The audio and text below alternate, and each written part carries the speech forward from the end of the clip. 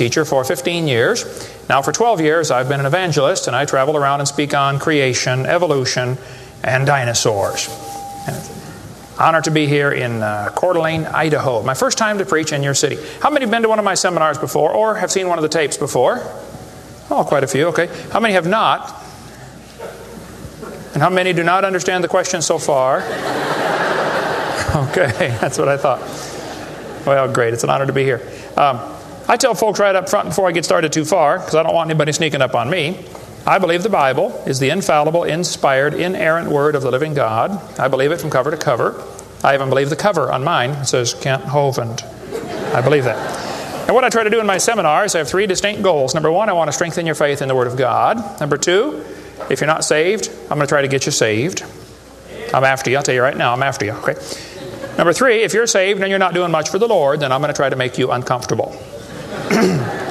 Everybody ought to find something to do for the Lord, okay? The worst of you could serve as bad examples, if nothing else. But you, you can all find something to do for the Lord. All right, uh, this, uh, this is not my wife. this is just a picture of her. We live in Pensacola, Florida.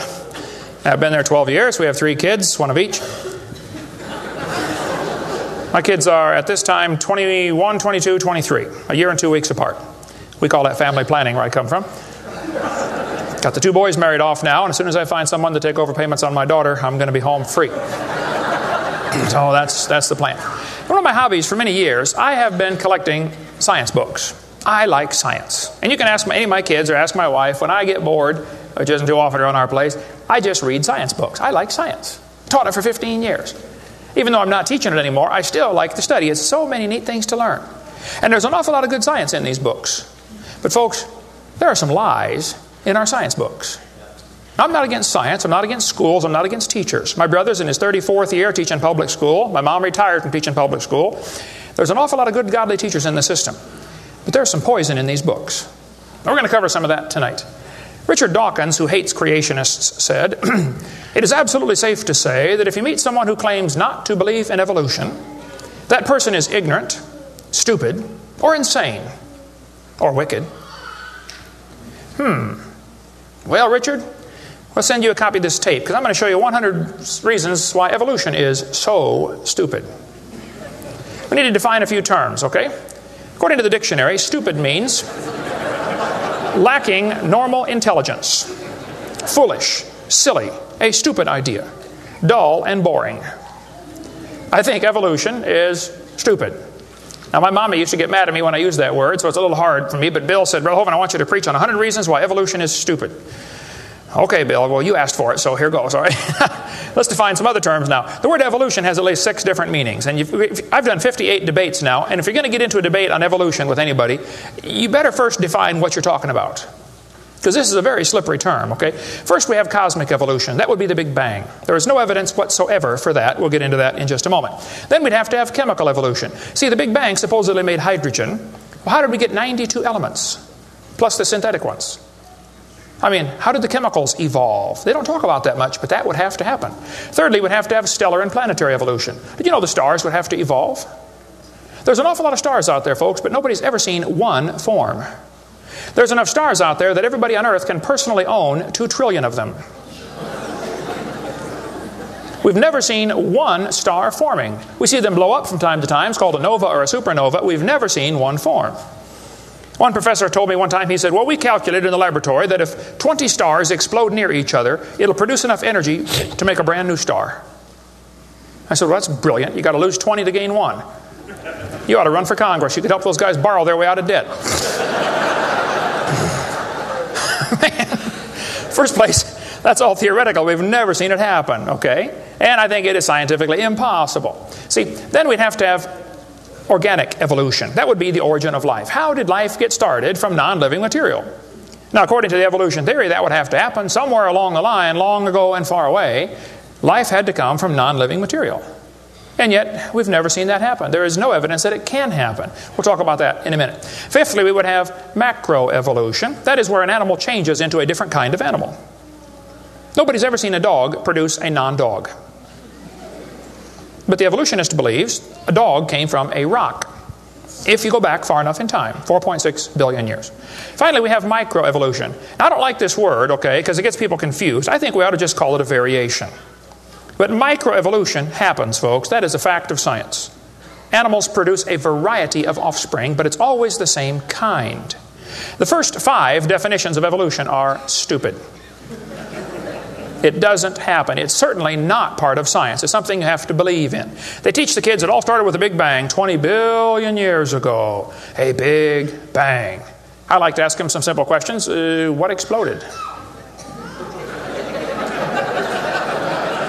and where did it come from? And where did the energy come from? Et cetera, et cetera.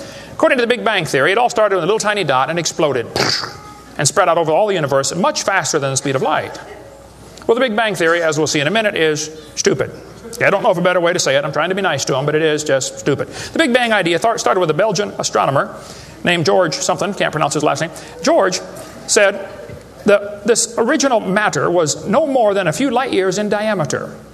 At the very least, that would be two, or about 12 trillion miles. So they started off teaching a, a spot 12 trillion miles across was what exploded. Well, they revised that down. In 1965, they said, no, it was only 275 million miles across. Well, that's way down from 12 trillion. 1972, they said, no, it's only 71 million miles across. I don't know how they know this stuff, but this is what they taught, okay? 1974, they said it was only 54,000 miles across. 1983, they said it was the trillionth the diameter of a proton. now they're saying it's nothing at all. Nothing exploded. And here we are. This is what the textbooks teach. 18 to 20 billion years ago, all the matter in the universe was concentrated into one very dense, very hot region that may have been much smaller than a period on this page. That's stupid. This one says all of the matter and energy someday will once again be packed into a small area, no bigger than the period at the end of this sentence. Then another big bang will occur. It happens every 80 to 100 billion years. So you can forget about global warming. We're, we're going to get squished. Now, this textbook author was brilliant. I could not believe how smart this guy was. he said, Boys and girls, nothing really means nothing. You have to be at least that smart to write a book. He said, Not only matter and energy would disappear, but also space and time. However, physicists theorize that from this state of nothingness, the universe began in a gigantic explosion. What? Yes, boys and girls, you see, nothing exploded, and uh, here we are. Now, who, who can argue with logic like that? Man, they even put this in major science journals like Scientific American. This fellow said uh, the observable universe, uh, that would be us, could have evolved. There's that word again. You got to watch that one. Okay, six meanings. From an infinitesimal region. In the Greek, that means a uh, dot. It's then tempting to go one step further and speculate that the entire universe evolved from literally nothing. They call that science and put it in a science book. I would call that stupid and put it in the garbage. this is what the books teach. I collect them. I've got hundreds and hundreds of these books from countries all over the world, clear back from 1890s up until 2001 textbooks. They, they're teaching this kind of stuff, folks. This one says, All the matter in the universe was drawn into this little tiny dot and it spun faster and faster. This is what they teach the kids. Some kids doing this for homework tonight, right? It spun faster and faster. One day, it exploded. Big bang. I was talking to a professor from Berkeley one time. I was sitting on the airplane next to a professor from Berkeley University. I don't know if you folks here in Idaho ever heard of Berkeley or not. But uh, Berkeley is not a Bible college. So we got talking about the Big Bang, and he said he believed in the Big Bang Theory. I said, Yes, sir, I figured that. You have to to teach at Berkeley.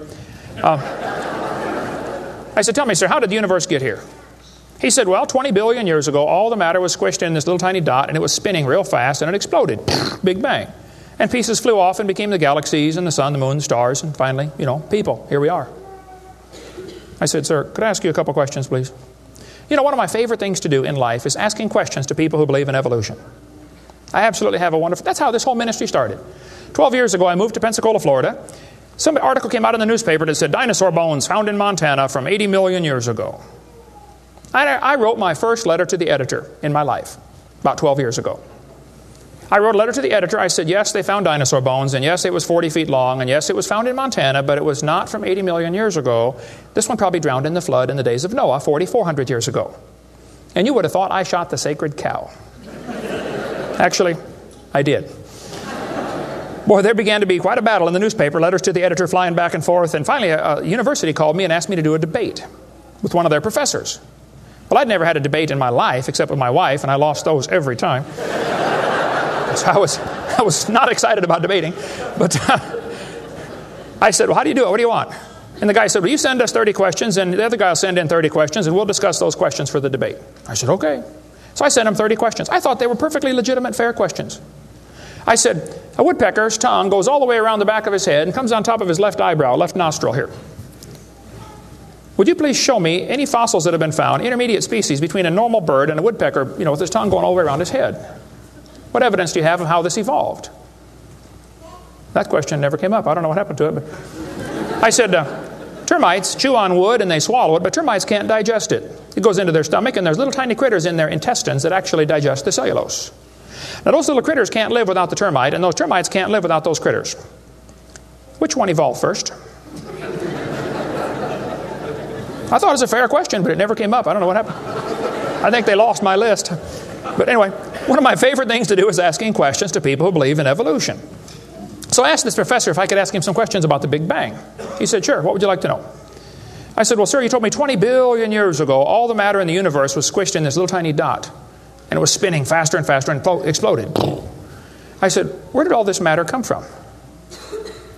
He said, Well, we don't know that for sure. I said, okay, now, sir, hold it. If I told you that I believe about 6,000 years ago God created the heaven and the earth, like the Bible teaches, you're going to say, and where did God come from? And I don't know. But you said 20 billion years ago there was a big bang, and you don't know where the dirt came from. So basically, I believe in the beginning God, and you believe in the beginning dirt. Don't tell me my theory is religious and yours is science. Oh, no, sir, they're both religious. The news media tries to make it look like it is religion versus science. I did a debate in El Paso, Texas here recently, and the news media wrote an article. They said, Religious and scientific leaders debate evolution. What is the unspoken message in that title? What are they trying to imply? Can you catch that? They're trying to imply that evolution is part of science, aren't they? No, evolution is a religion. Actually, both creation and evolution are inherently religious. These two timelines is the same information right here. I'll be referring to that throughout the seminar here. I get, cover this thing all the time. The Bible teaches about 6,000 years ago, God made everything. 4,400 years ago, there was a big flood that destroyed everything. 2,000 years ago, Jesus came. Here we are today, waiting for the Lord to come back in about five minutes. This is the Bible view of history. On this chart, one inch is 150 years. That's a long time. The 20 billion year chart on the bottom is a very different scale. But see, both views, creation and evolution, are inherently religious. You have to believe in creation or believe in evolution. The difference between the two, though, is very simple. The evolution religion is tax supported. That's the difference. By the way, if I was to make that bottom chart the same scale as the top chart, the bottom chart actually needs to be 2,100 miles long. That's from Pensacola to Portland, Oregon. I don't want to carry a chart that big, so I made a new scale for the other one, okay? If they want to believe it happened long ago and far away, they're welcome to believe that, but that's not science. Evolution is a religious worldview, and I think it is stupid. So I asked the professor, where did the matter come from? He said, I don't know. I said, Well, sir, would you please tell me where the laws came from? The universe is run by laws gravity, centrifugal force, inertia. Who gave the laws? He said, We don't know that either. I said, Sir, could you tell me where the energy came from? You know, it takes energy to make a big bang. Who bought the gas to run this machine anyway? Hmm? He said, We don't know that either. I said, uh, Sir, could I ask you another question? He said, Sure. What else would you like to know? what else? What do you mean, else? You haven't told me nothing yet. I said, Does Berkeley have a merry-go-round? How many of you know what a merry-go-round is? You go round round, round till you puke, okay? He said, No, we don't have a merry-go-round at Berkeley. I said, You ought to get one. You could learn some good science on a merry-go-round. If you put some fourth graders on a merry-go-round, are there any fourth graders in here tonight? Who's in fourth grade? All right, I like fourth graders. I spent the best five years of my life in the fourth grade. That's before they diagnosed ADD. Uh, put some fourth graders on the merry-go-round. I like using fourth graders because they're tough and they're expendable. Um, and we're going to get the high school football team out there to get that thing spinning clockwise as fast as it will possibly go. Now, if you have a digital watch, you may not know what clockwise means. I'll explain it later. We're going to spin the merry-go-round clockwise. The kids are going to go through four phases. They start off in phase one. They're screaming at the football players, Come on, let's go, faster, faster. Can't you go any faster? You get up around 30 miles an hour. The kids enter phase two, where they stop screaming. They just quietly concentrate on trying to hang on for dear life. you get up around 60 miles an hour. The kids enter phase three, where they start screaming again. But now they're screaming, Stop, stop, please, slow down. Don't stop, though. Keep going faster and faster. When you get to about 100 miles an hour, you should enter phase four. That's where the kids begin to fly off the merry-go-round. now, when this happens, you will notice a very interesting phenomena of physics. If the merry-go-round is going clockwise, when the kid flies off, the kid will be spinning clockwise until he encounters resistance, like a tree or telephone pole. That's because of a law in physics known as the conservation of angular momentum. You see, if a spinning object breaks apart in a frictionless environment, the fragments will all spin the same direction. It's very simple. It's because the outside is moving faster than the inside. And so it keeps the same direction of spin. The professor said, Yes, I understand about the conservation of angular momentum. I said, Well, good. I'd like to ask you a question then, sir. If the whole universe began as a swirling dot, like you said, why do two planets spin backwards? He said, That's interesting. Said, No, that's more than interesting. It's kind of hard on your Big Bang Theory. Not only that, six of the moons are spinning backwards. Why? He said, I don't know. Why do you think they're going backwards? Huh, I was hoping he was going to ask that. I said, Well, sir, I believe it's very simple. You see, I believe in the beginning God created the heaven and the earth, and God did it that way on purpose, just to make the Big Bang Theory look stupid.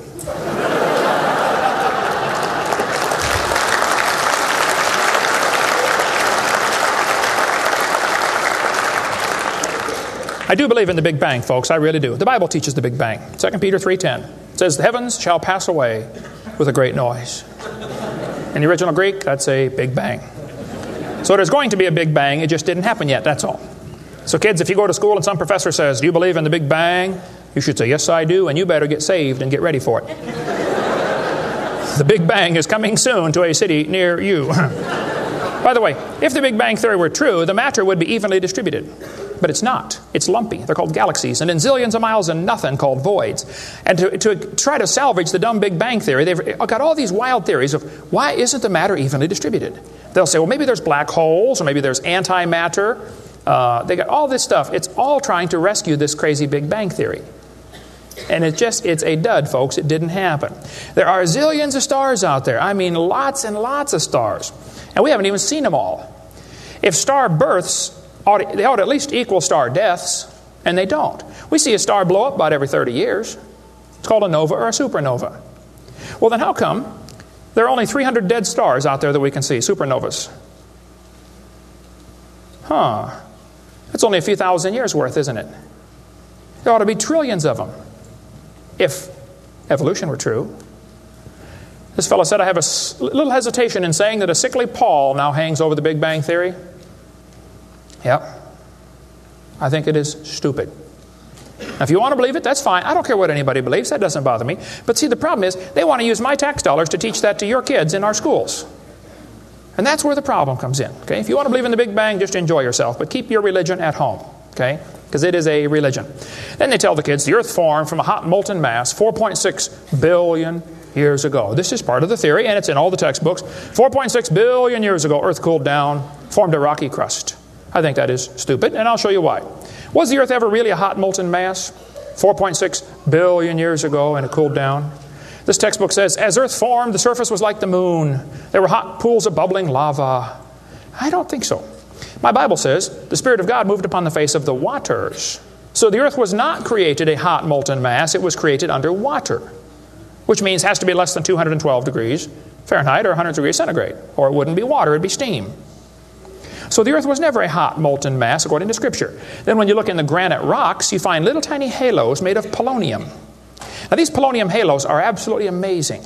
Robert Gentry, a friend of mine from uh, Knoxville, Tennessee area, he has been studying radiopolonium halos for a long time. I met him back in uh, the year 2000 and went down to his laboratory and I got to see some of the halos through the microscope. These little polonium halos are interesting because they have a half life of less than a few minutes. If the rock was hot when the polonium, radioactive polonium, decayed and sent out the little particles and made the halo, it would melt away.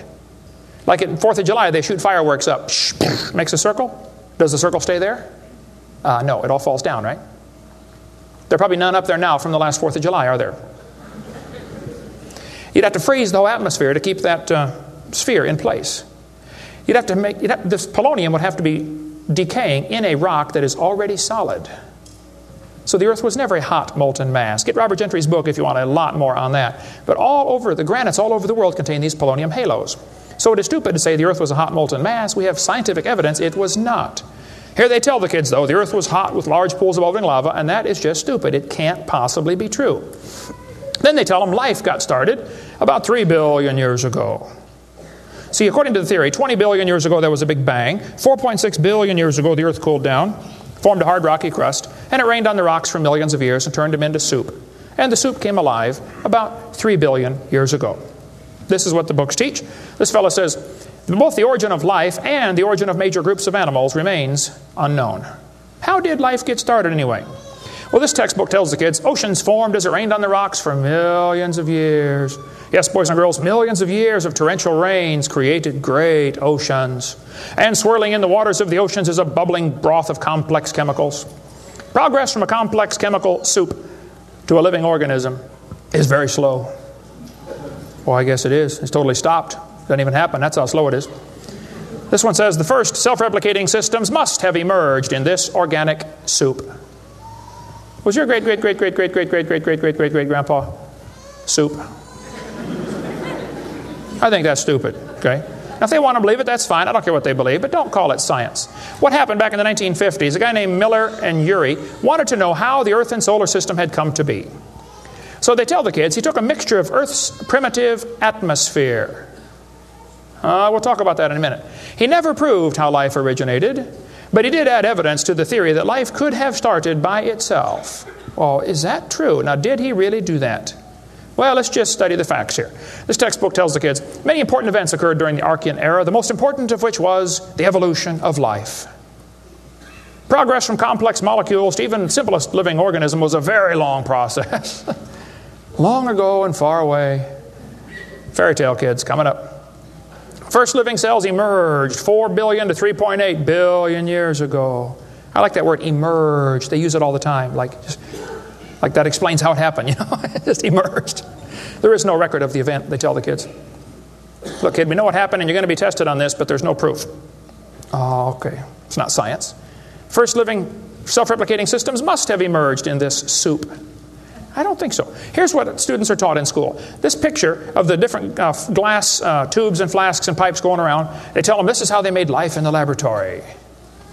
Hmm. He said he studied the chemical reactions of gases that existed in Earth's primitive atmosphere. Oh, now this is important, okay? Notice up in the upper right hand corner, he had methane, ammonia, water vapor, and hydrogen, no oxygen. He circulated these gases through these tubes through a spark, supposed to represent lightning. And sure enough, it produced a red goo at the bottom of the flask and had some amino acids in it. Hmm. They didn't come close to getting life, though. Miller excluded oxygen in a reducing atmosphere because life could not evolve with oxygen. Anything that got together would oxidize. Cut a banana open, lay it on the table, it'll turn brown, it'll oxidize. Okay, so will an apple, so will anything alive. It'll oxidize. So that's why he didn't have any oxygen in the experiment. One of his gases was ammonia. Well, this creates a real serious problem because ammonia is destroyed by UV light. And UV light must be blocked by ozone, which is made from oxygen. Ah, I got a problem here. This textbook says several billion years ago, Earth's atmosphere had no free oxygen. Well, that's just simply not true. Ozone is made from oxygen and it blocks UV light, and ammonia, one of the gases needed for the experiment, is destroyed by UV light. So life cannot evolve without oxygen. But also, life cannot evolve with oxygen. Well, I got a solution for that one. It didn't evolve.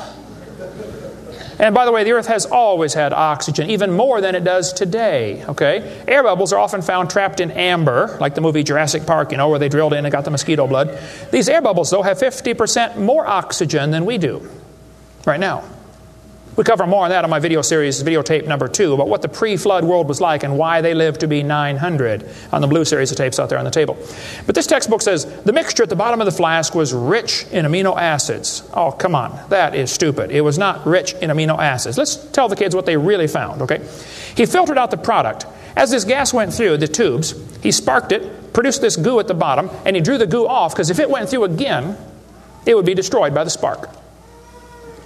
Now, in real life, you're not going to get a section of the ocean protected. They say this just happened by chance in the ocean. We can't just, you can't filter out the product then. Secondly, what he made was 85% tar, 13% carboxylic acid, 2% amino acids. So 98% of his mixture was poisonous to life.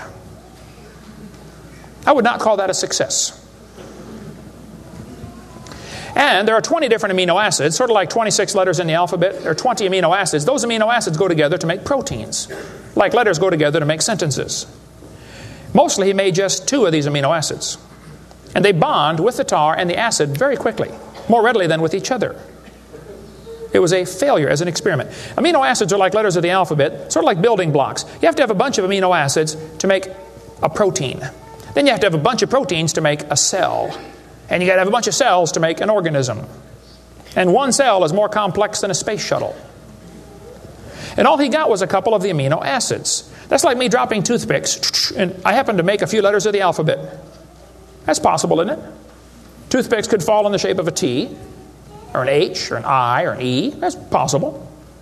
But if I'm able to drop toothpicks and produce a few letters of the alphabet, should I therefore conclude that nobody wrote Webster's, Webster's dictionary? The difference between making a letter with toothpicks and making Webster's dictionary is about like making an amino acid and making a living cell. He didn't come close to making life. He made the equivalent of a few letters, and he actually needed to make huge books. And half of his letters were backwards, left handed. This creates a real problem since the simplest proteins, the smallest proteins, have 70 to 100 amino acids, all of them left handed. This really compounds his problem. RNA and DNA are all right handed molecules. And they are unbelievably complex. And hundreds of these amino acids must, be, must combine to make a protein. And this has to be in a precise order. And they unbond in water much faster than they bond. And last time I checked, the oceans are completely full of water. So Brownian motion is going to drive them away from each other, not together. It just isn't going to work. He did not make life in the laboratory. But they tell the kids, he showed how life could have started by itself. Oh, that is just a stupid, okay? That's a lie. He did not show anything of the kind. And every experiment since then has made the problem worse. They're finding more and more things that just couldn't happen. Don't call that science.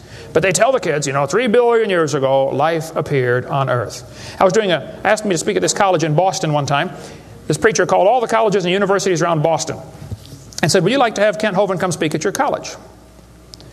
Finally, one school, one professor said, Yes, he can come speak at our school if our professors can ask him any questions they want, because we want to show our students how dumb these creationists really are. So the preacher called me and said, Brother Hovind, would you like to speak at this college and let them make fun of you for a couple hours? I said, I would be honored. so I showed up. There were six professors and all their students. You know, I felt like Daniel in the lion's den.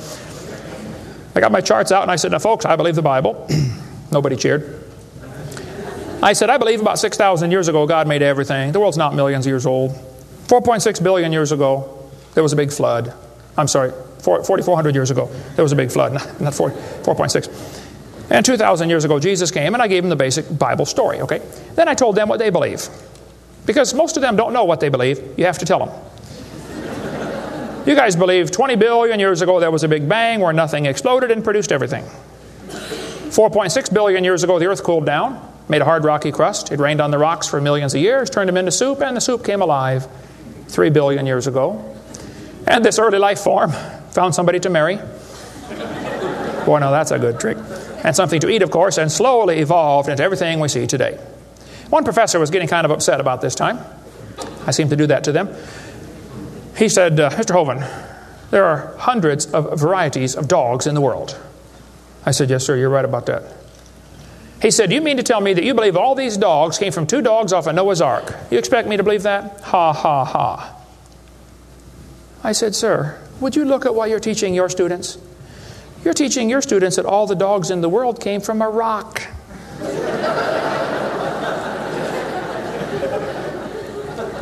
I had one lady, I'm sorry, a woman, come to me after a debate one time. She was steaming down the aisle, boy, she was mad. Oh, I could tell I'm in trouble now. I stood there quivering in my boots, you know. She walked up and she said, Tonight, you said, we believe we come from a rock. We do not believe that. I said, Well, ma'am, calm down just for a minute. I said, Do you believe in evolution? She said, Yes, I do. I'm a professor here at the university. I said, Well, would you please tell me then where we came from? She said, We came from a macromolecule. I said, uh, Where did that come from? She said, From the oceans, from the prebiotic soup. I said, Where did that come from? She said, Well, it rained on the rocks for millions of years. and you could see it was slowly dawning on her. I do believe I come from a rock, don't I? yes, ma'am, you do. You ought to be proud of it. Hey, don't step on grandpa, whatever you do. Look, that's stupid, okay? There's no kind way to say it. There's a great book dealing with some of the flaws in the Miller experiment. If you want more on that for your kids to study out there on the table, get the book Icons of Evolution. Then they tell the kids that these plants and animals, not only did life evolve from non living material, then this life had to learn to reproduce itself. Why would any organism want to reproduce more of its own kind when that's only going to increase competition for the food supply? Why didn't they instead evolve the ability to live forever and be happy? Huh? You ever think about that? I was in a debate one time, and one, we had question and answer time at the end. The student stood up and he said to the uh, evolutionist, he said, uh, Sir, how did male and female evolve? The professor got up and he said, Well, that is a giant mother may I step in the evolution story. A mother may I step? this is science. Wow. Ah, well. So, according to them, you know, for the next few billion years or hundreds of millions of years, you know, life learned to, re- to produce something other than its own kind. Of course, today everything only produces its own kind, but they say long ago and far away, they were able to do something different. Textbooks will say we started like a bacteria and slowly evolved to a human. I think that's stupid. But if you want to believe that, that's perfectly fine. Those trees of life that they put in the textbooks for your kids are a bunch of nonsense. And even evolutionists will admit that. Stephen Jay Gould, the Marxist professor at Harvard University, he says that evolutionary trees that adorn our textbooks are not the evidence of fossils. It's only inference. We infer, we imply, we hope it happened this way. This textbook says all the many forms of life on earth today are descended from a common ancestor. What? You mean the birds and the bananas have a common ancestor? Isn't that what he says? Found in a population of primitive unicellular organisms. Well, in the first place, there's no such thing as a primitive unicellular organism, okay? One single cell is more complex than a space shuttle. There's no such thing as a primitive single celled organism. We talk about that on video number four of our series. But he says, all the forms of life are descended from a common ancestor found in a population of primitive unicellular organisms. What were those first cells like? How do we know? What events led up to their formation? No traces of those events remain. Did you catch that? Hey, kid, we know what happened, but there's no proof. Primitive, huh? This one says the humans, mammals, birds, crocodiles all had a common ancestor. Well, anything inside that circle is religious speculation. It is stupid. Reptiles produce reptiles, dogs produce dogs, people produce people, and there's never been an exception to that. Darwin said, though, if my theory be true, here's his book right here. You can look on page 211. He said, If my theory be true, numberless intermediate varieties must assuredly have existed. Boy, you're right about that, Charlie. I mean, to change from a rock to a dog would take a few changes. David Raup, who believes in evolution very strongly, says in the years after Darwin, his advocates hoped to find predictable progressions. In general, these have not been found, yet the optimism has died hard, and some pure fantasy has crept into textbooks. You're kidding. Fantasy in our textbooks? oh, yep. They tell the kids they have evidence of evolution from fossils. I don't think so. That is stupid, okay? If you find a fossil in the dirt, all you know is it died. You don't know that it had any kids, do you? And you sure don't know that it had different kids. I mean, think about it. You're in a court of law. You bring in a bone to the judge. Judge, I found this bone in the dirt. This is the ancestor of all the humans today. they would laugh at you. You don't know that that's the ancestor of anybody, do you? And why on earth would you think a bone in the dirt can do something animals today cannot do? Animals today can only produce the same kind, right? Dogs produce dogs, folks. Luther Sunderland asked all the major evolutionists, he said, Where is the evidence for evolution? They all said, Well, somebody else has it. We don't have it over here. So he wrote a letter to Colin Patterson. He's the director of the British Museum of Natural History. They've got the largest fossil collection in the world. He said, Mr. Patterson, I read your book on evolution. I noticed you didn't show us the missing links. Why didn't you show us the missing links? Patterson wrote back and said, I fully agree with your comments on the lack of evolutionary transitions in my book. If I knew of any, fossil or living, I would certainly have included them. I will lay it on the line there is not one such fossil. There are no missing links, folks. The whole chain is missing. Even Stephen Gould admitted the absence of fossil evidence for intermediary stages is a persistent and nagging problem for evolution. We got the theory, we know it's true, now we just need the evidence. That's the way they think about it. Richard Goldschmidt said, maybe the first bird hatched from a reptile egg. Well, oh, Richard, I'm sorry. I don't mean to be disrespectful, but that's stupid. See, what's happened, these guys have looked for missing links in the, in the fossil record. They can't find any, and so they say, well, maybe evolution happened so fast it wasn't preserved. Maybe a reptile laid an egg and a bird hatched out. Well, who did that bird marry? Hmm? There's only about a zillion differences between a reptile and a bird. We'll get into that later sometime if we get time. But if they want to believe that, that's perfectly fine. Here's what happened Charlie Darwin graduated from Bible college to be a preacher in the Anglican Church in 1830. He couldn't get a job, so his dad pulled a few strings and got him a job on board HMS Beagle. He's going to sail around the world and collect bugs. And while he's sailing around, he stopped off at these islands right there called the Galapagos Islands. There on those islands, Charlie noticed there were 14 different varieties of finches. Charlie studied the birds very carefully and said, You know what? I think all these birds had a common ancestor. I bet you're right, Charlie. It was a bird. And then Charlie said in his book on page 170, he said, It is a truly wonderful fact that all animals and all plants throughout all time and space should be related to each other. now, hold on a minute. You see 14 kinds of birds, and you conclude that birds and bananas are related. That's stupid. You should conclude that those 14 kinds of birds had a common ancestor, but that's as far as it ever goes, folks, okay? I don't know of a kind way to say it, Charlie, but that's, that's stupid. Okay, we don't ever see a bird produce a non bird. See, dogs produce dogs, and you might get quite a variety of dogs. Roses produce roses. That is called microevolution. Now, that is a fact, folks. It happens. It is observable, it is scientific. I don't think we ought to use that word, microevolution. We should just call it a variation. But they use it, so, uh, you know, just so I qualify that, it's, it's a lousy term. It gives what's called a free rider effect to the rest of the five religious ideas of evolution. You might get a big dog or a little dog, but you're always going to get a dog when you crossbreed your dogs. And I would go so far as to say probably the dog, the wolf, and the coyote had a common ancestor. This Irish textbook shows different dogs and it calls it divergent evolution. Oh, come on, giving it a fancy name doesn't change a thing. It is still a dog. And a three year old can tell you. Who, anybody in here five years old? Who's five years old? Five years old. What's your name? Misty. Here we have a dog, a wolf, a coyote, and a banana. Which one is not like the others? Dog, wolf, coyote, and banana. Banana. All right, let's give Misty a hand. Very good. The other ones. Some of these college professors can't tell.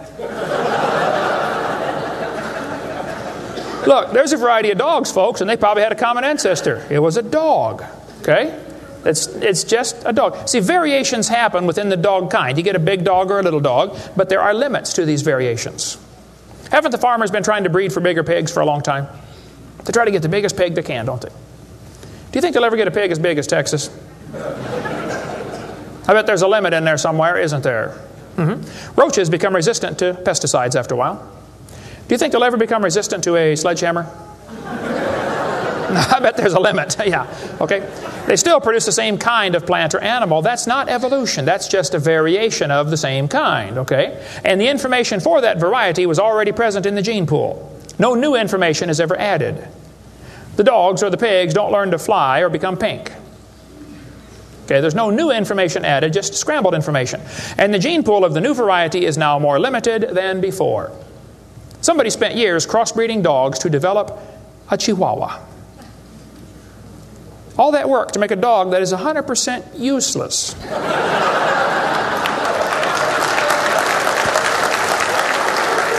let's, uh, let's turn all the chihuahuas in the world loose back into the woods.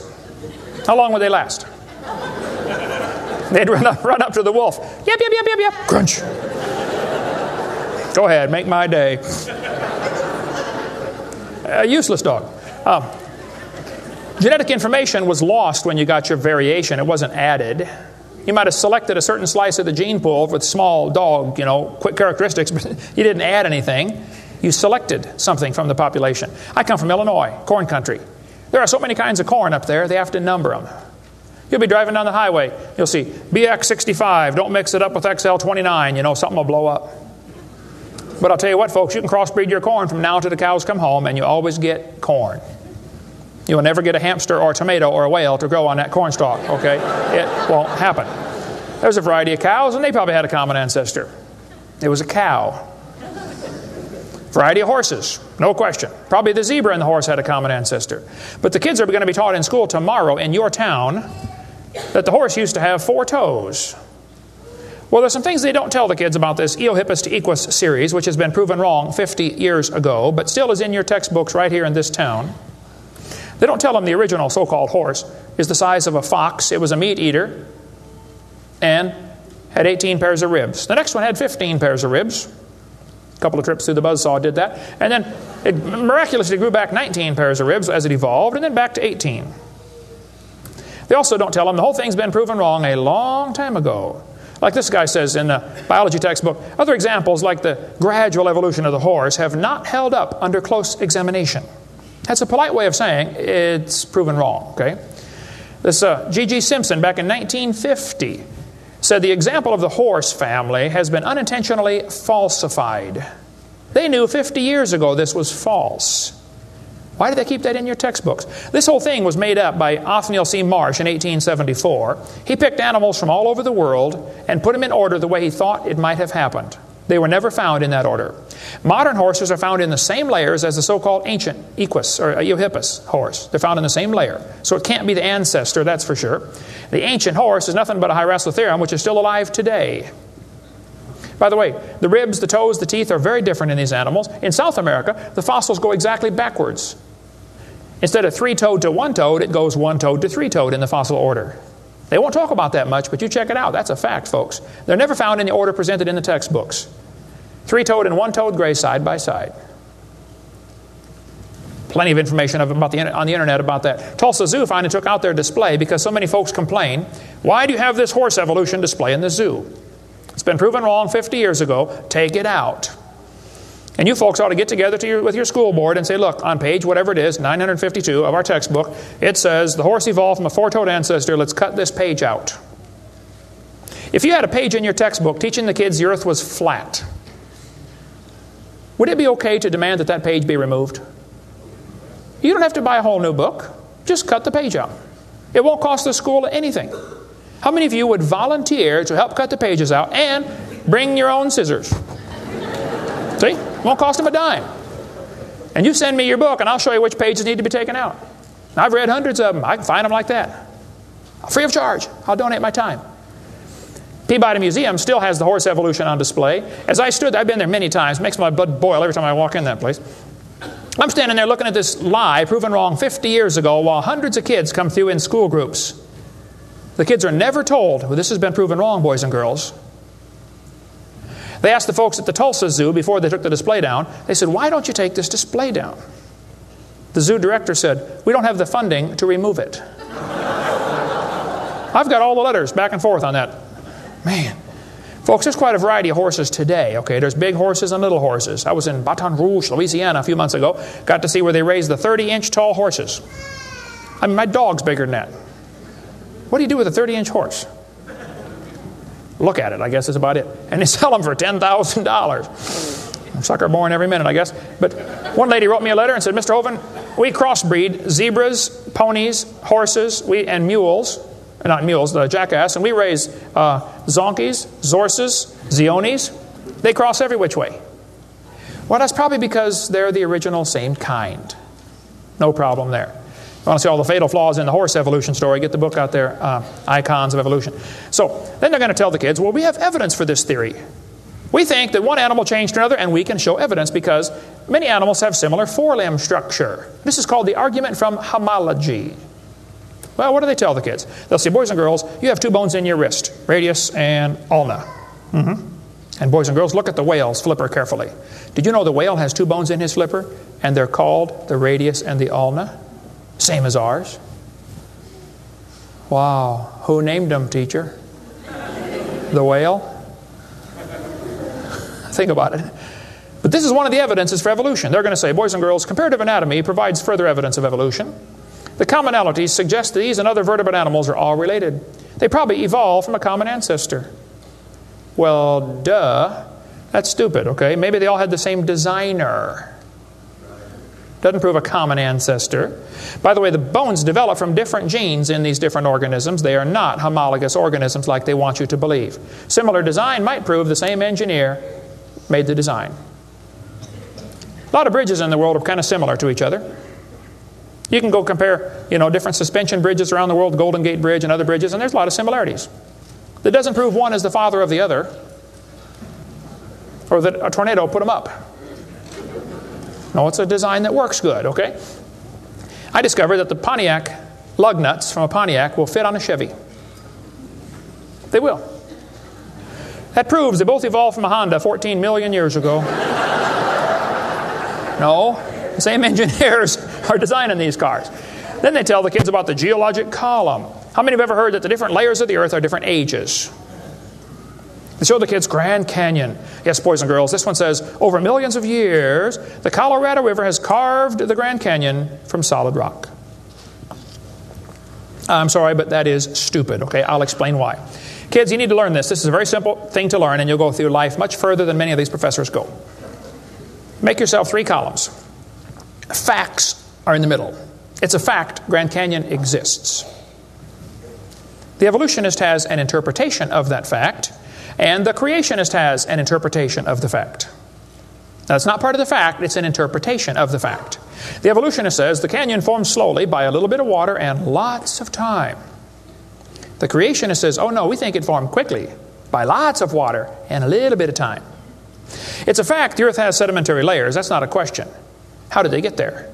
Well, the evolutionist says these layers formed slowly over millions of years. The creationist says, no, no, these layers are all from the flood in the days of Noah. Now, it seems like the professors are always trying to erase the line between their, their interpretation and the fact and make their interpretation part of the fact column, and it's not. And I think I can demonstrate Grand Canyon was not formed by the Colorado River. I was in a debate recently, and this professor said, Dr. Hovind, you're so stupid. Obviously, it took millions of years to form the Grand Canyon. I said, Well, sir, I've seen Grand Canyon many times. I taught earth science for 15 years. I've studied it intensively.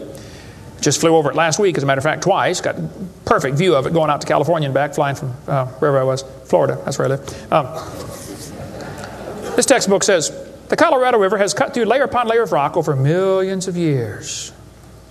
Well, if you built a dam across Grand Canyon, it would take a lot of dirt or concrete, but if you could, okay, it'd be a huge dam. A giant lake would back up behind that dam covering several states. That purple area is all drained right through the Grand Canyon drainage basin. Hmm. This snow line tells a very interesting story. In between these two red lines is snow. This is a picture from a satellite showing about 150 or 200 miles of the canyon area. Real wide shot. The river enters the canyon at the far right. The uh, river is 2,800 feet above sea level. As it goes down through the canyon, the ground is rising up.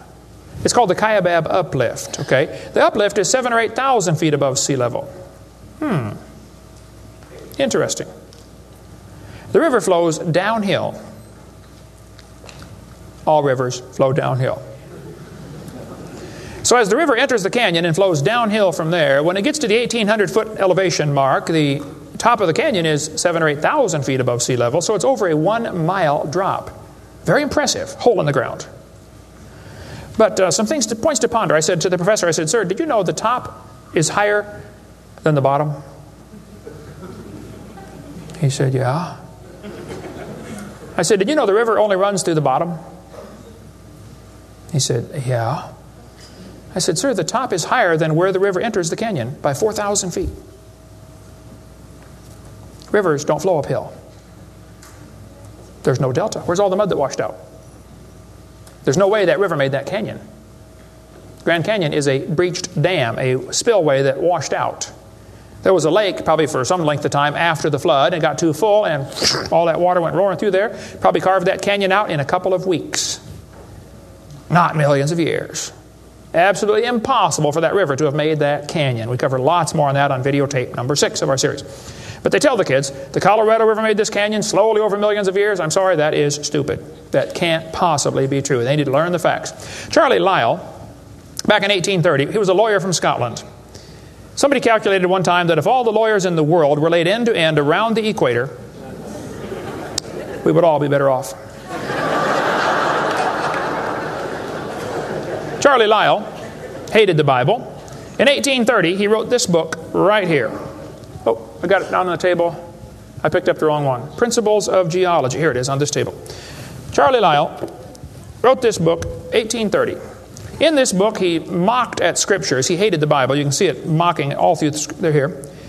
In here, he and other fellows back in that time, uh, uh Cuvier, uh, Steno uh, Strata Smith, and some of these guys, they invented the geologic column. How many have ever heard of the geologic column before? They say each of the layers is a different age, you know, Cenozoic, Mesozoic, Paleozoic, Archeozoic, all them Zoic boys.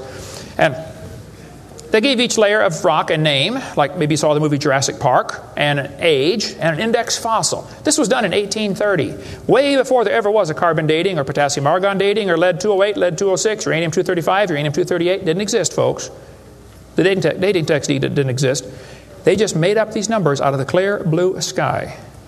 The geologic column is the Bible for the evolutionist. It can only be found one place in the world the textbooks. There is no geologic column, and they know it. This fellow says if there were a column of sediments, uh, unfortunately, no such column exists. The geologic column is a hoax. Does not exist. It is stupid. Those layers cannot be different ages. If the geologic column were all in one place, it would be 100 miles thick. Didn't happen. By the way, if the geologic column were true, if you look at the side of Grand Canyon and see all these thousands of layers, why are there no erosion marks between the layers? Don't you think if one layer sat there for 10 million years waiting for the next one, it would rain once or twice? No erosion marks between the layers. Interesting. Oh, something to consider anyway. Those layers are all deposited very rapidly, and I think we can demonstrate that scientifically. If you take a jar of dirt, put some water in it, and shake it up, and set it down, it'll settle into layers for you automatically. It just takes a few minutes. It's called hydrologic sorting. The gravels go to the bottom, and then the sands and the silts and the clays. It'll sort just like that, folks. Go home and do it with a jar.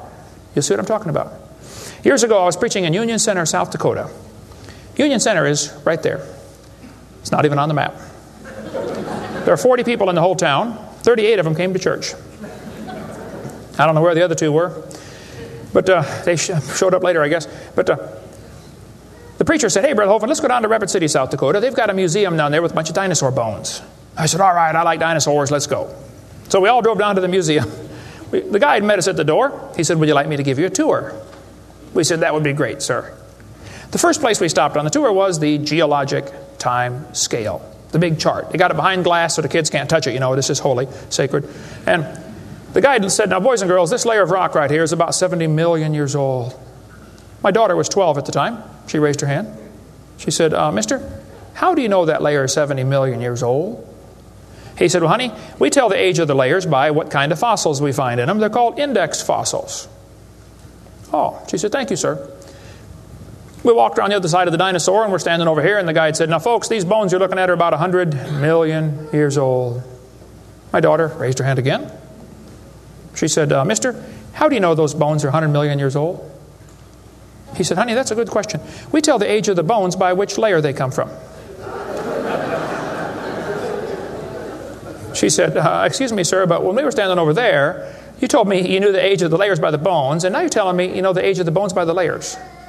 She said, Isn't that circular reasoning? I thought, wow, a chip off the old block. That guide had the strangest look on his face. it was almost as if he were thinking.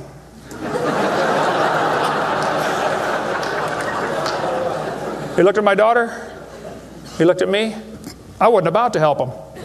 I thought, wow, this is going to be good. I got to hear this. He looked back at my daughter. He said, You know, you're right. That is circular reasoning. I never thought of that before. Folks, geologic column is a joke, it doesn't exist. It's all based on circular reasoning. We can demonstrate that clearly. Get our video number four if you want more information on how it's all based on circular reasoning. I'll just give you a couple of quotes here. This guy says The rocks do date the fossils, but the fossils date the rocks more accurately.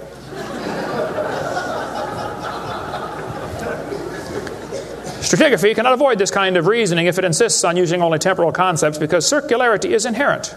You have to use circular reasoning to get it right. Well, that's stupid. And you don't need to be too bright to figure out that's stupid, okay? This geologic column contains limestone scattered all throughout the geologic column. I like to ask him the question I say, fellows, you have limestone scattered all through this column. How do you know the age? Oh, it's all limestone. I mean, if I handed you a piece of limestone, how would you know if it's 100 million year old Jurassic limestone or 600 million year old Cambrian limestone? I mean, how would you tell the difference? There's only one way they can tell by the index fossils. That's how it's done, folks. That is stupid. Because those fossils don't count for anything, as we'll see in a minute. They tell the kids each of these layers is a different age 100 million, 200 million, 300 million, real impressive, huge numbers. Now, Charlie Darwin did not like round numbers, he wanted to be more precise. He said the Wealdian deposits are 306,662,400 years old. Now, okay, Charlie, I think that's stupid. Those layers are not different ages, folks. All over the world, we find petrified trees standing up, running through multiple rock layers. Now, if you get a petrified tree standing up, running through different rock layers, I don't think it's smart to say those layers are vastly different ages. Petrified trees in the vertical position they find them all over the world. Okay, here's one from Alabama. Came come out of a seam of coal through 20 feet of rock into another seam of coal. They found about three dozen of them, I think, in that one little coal mine, one little area, while they're digging the coal out. Petrified trees standing up. Cookeville, Tennessee. They found a bunch of them. This one's 30 feet tall, standing up. Joggins, Nova Scotia is famous for their petrified trees standing up in the vertical position. All over the area there, folks. Those trees did not get slowly covered by the sediments over millions of years. They would rot and fall down. Sometimes the petrified trees are upside down, running through many rock layers. Scientists estimate at the bottom of Spirit Lake in Mount St. Helens there are now 20,000 trees that were blown out by the volcano. Thousands of them are standing up in the bottom of the lake, already buried 15 feet deep in mud. None of them grew there. Those trees are going to petrify. Only takes a few years to petrify a piece of wood. In the laboratory, it can be done in 24 hours. We cover lots more on how fast things can petrify in uh, videotape number six of our series. But they dug up a guy, they buried, this, they buried this doctor in Tennessee. 14 years later, his wife died. When they went to dig the grave, water soaked into her grave. And they said, Oh, we can't bury grandma there. So they dug a hole on the other side, water soaked in. So they dug a hole and buried grandma somewhere else. And then the kids got worried about grandma, grandpa, so they went and dug up his grave. The arms had rotted off, but the rest of the body had petrified in 14 years, turned to stone from water running through the coffin. I got tons of material on how fast things can petrify. Those layers are not different ages. They all formed in one big flood in the days of Noah. To tell the kids the layers are different ages is stupid. That just simply is not true. So, what about carbon dating and potassium argon dating and rubidium strontium dating and lead 208, lead 206, uranium 235, uranium 238? Well, we'll cover that after a quick break here. Show you some ways that this is just stupid, okay? That's not a way to tell the age of anything. We're going to give you some more evidence that evolution is stupid. Now, if you want to believe in it, that's perfectly fine. I don't care what you believe in. But the devil is laughing at you for believing in that. He has you fooled, and he is laughing at you. Okay? If you want to believe you came from a rock, well, you just enjoy yourself. But that's not science. God made this world. God loves you. God has a plan for your life. And if you don't want it, well, that's your business. But God loves you and He wants you to come to heaven. And if you'd like to find out how to go to heaven, come see me. I'll be glad to show you. I'm going. It's not because I'm good. if I get what I deserve, I'm in serious trouble. But I've been forgiven by the blood of Jesus Christ. You can have the same thing. After the break, we'll show you some more things that make evolution stupid. Coming up next. Thank you.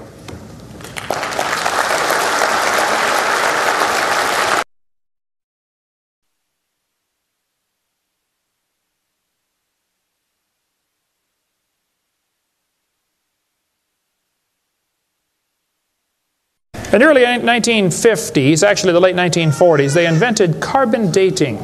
We're going to explain a little bit about radiometric dating and how it's supposed to work, and then show you that it does not work, okay?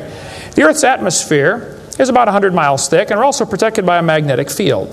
Radiation from the sun and from the stars, mostly from the sun, goes right through that magnetic field, some of it does, and hits the atmosphere and produces carbon 14. Carbon 14 is radioactive.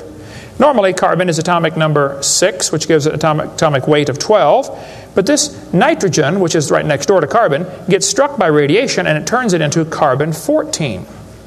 Now, carbon 14 is unstable, it is radioactive, it's always breaking apart, and you can hear it like with a Geiger counter, you know, click, click, click, click, just like uranium because it's decaying. They've discovered it decays at a fairly consistent rate. About half of it will decay every 5,730 years. Which means if I gave you a pile of carbon 14, 5,730 years later, half of it would turn back to nitrogen.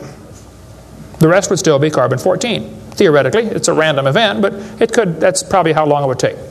During photosynthesis, plants are breathing in carbon dioxide, and this radioactive carbon is mixed in with the regular carbon. The plant doesn't seem to know or care if it's getting radioactive carbon or regular carbon, it just takes it right in. Animals eat the plants and make it part of their body. Probably during your lifetime, you have either eaten plants or you've eaten animals that have eaten plants. How many have done that before? Okay. So, you probably have radioactive carbon 14 in you.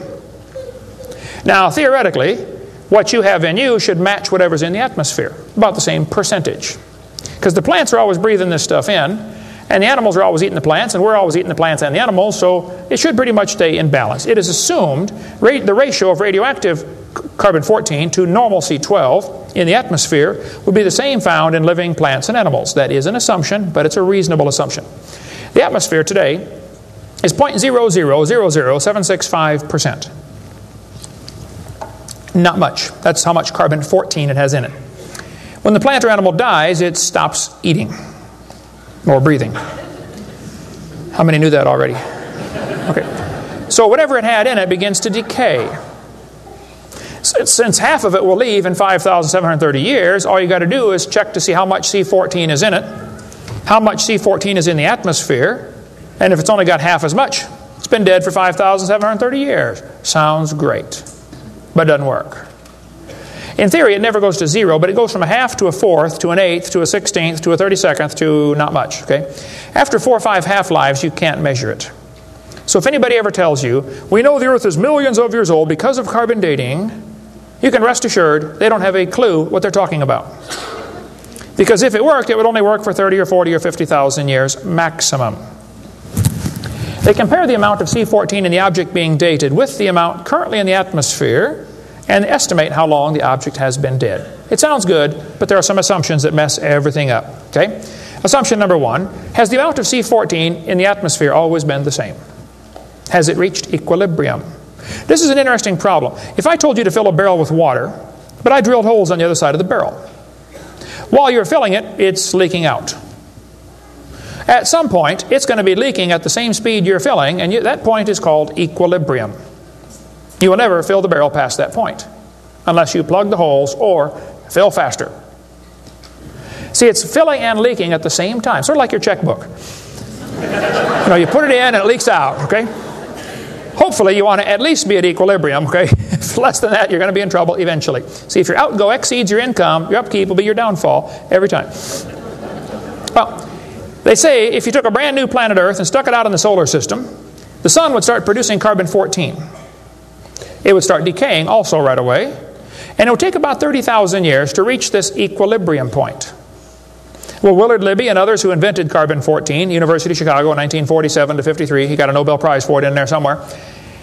He said, well, it would take 30,000 years to reach equilibrium. He said, well, we know the Earth is millions of years old. Mistake number one. So we can ignore the equilibrium problem. Ah, mistake number two. The Earth's atmosphere has still not reached equilibrium. There's more C14 now than there was 10 years ago, which proves the Earth is less than 30,000 years old which I could have told them just from reading my Bible. See, if an animal is still alive, be it plant or animal, okay, it should have about 16 clicks per minute on your Geiger counter per gram. If it's zero years old, actually zero years dead. If it's getting only eight clicks per minute, then it's uh, 5,730 years old. If it's giving you four clicks per minute, it's gone through two half lives. It's only it's 11,000 years old. If it's two clicks per minute, it's 17,000 years old. This is how they date it. So if you're getting two and a half clicks per minute, you just find the point on your graph and draw the line over and determine the age. Sounds real simple, but it doesn't work. If we had walked into a room and found a candle burning on the table, and I asked you the question, when was it lit? You say, I don't know, Mr. Hovind, it's burning when I got here. Okay, well then let's do some empirical science. Empirical science is things we can test and measure and observe and test. Not theoretical, I mean empirical. We can measure it and weigh it. Let's measure the height of the candle. Suppose the candle is seven inches tall. Who can tell me when it was lit? Okay, nobody. Let's do some more empirical science. Let's measure the rate of burn. Suppose we determine it's burning an inch an hour. When was it lit?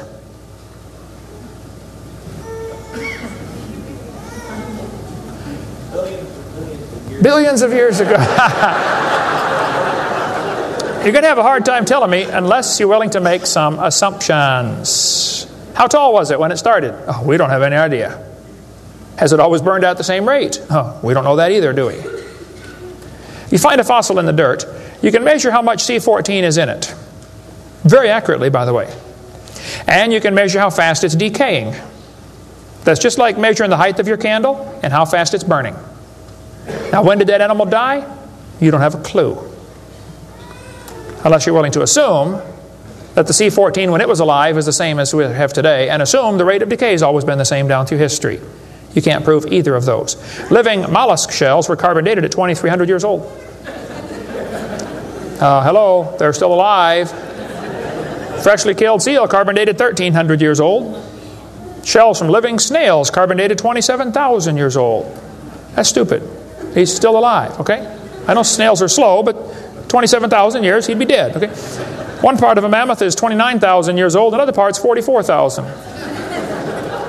One part of Dima was 40,000 years old, another part was 26,000, and the wood next to it is 9,000. The lower leg of a mammoth is 15,000 years old, the skin is 21,000. Two mammoths found side by side in Alaska, one is 16,000, one's 22,000. Which number is right? Living penguins carbon dated 8,000 years old. 11 human skeletons, the earliest known human remains in the Western Hemisphere, were dated by accelerator mass spectrometer. All 11 dated about 5,000 radiocarbon years. Lava from a 1801 Hawaiian lava flow was 1.6 million years old. Well, hello is not even 200. Another volcano erupted in Hawaii in 1959. When they dated the lava, it was 8.5 million years old. These potassium argon dating for that, not carbon. Mount Etna in Sicily, I climbed Mount Etna when I was over there some time ago. Erupted in 1972, three and a half, 350,000 years old. Mount St. Helens built a new lava dome in 1982. They dated it. Got numbers from 350,000 to 2.8 million. It's not even 20 years old. Here's what you ought to consider about carbon dating. Samples of known age, it doesn't work. If it's a sample of unknown age, it is assumed to work. That's stupid. In the last two years, an absolute date has been obtained for the Ngandong beds above the Trinil beds. It has the very interesting value of 300,000 years, plus or minus 300,000 years. Well, they nailed that one right on the head, didn't they? See, back in 1770, George Buffon said the Earth is 70,000 years old. 1905, the official age of the Earth was 2 billion. When they went to the moon, they said the Earth and the moon are 3.5 billion years old. 3.5 billion, dated with potassium argon dating. Now they're telling the students it's 4.6 billion years old. Let's see, that means the Earth is getting older at the rate of 21 million years per year. That's 40 years per minute. Aging rapidly, folks. That's stupid, okay? All they do is add more time to make the theory look more reasonable. Long ago and far away. And when you prove it couldn't happen, they say, well, it was longer ago and farther away. then they're going to tell the students one of the evidences for evolution is embryology. Now, there aren't too many things about this whole theory that make me angrier than this, so I'm going to try to stay calm and cool and collected while we discuss this. Ernst Haeckel, embryology professor at University of Jena in Germany, loved evolution theory. When the Darwin's book came out, Ernst Haeckel read that book the next year and said, Wow, this is a great theory. All we need now is some evidence. Nine years later, they still had no evidence. So Ernst Haeckel decided to help Charlie out. He was an embryology professor, the study of animals before they're born, you know, the different embryos of all these different animals. He, took, he made drawings that were fake to make them look alike. The students are taught we have evidence from development. I don't think so. The similarity between early stages in development of many different animals helped convince Darwin that all forms of life shared common ancestors.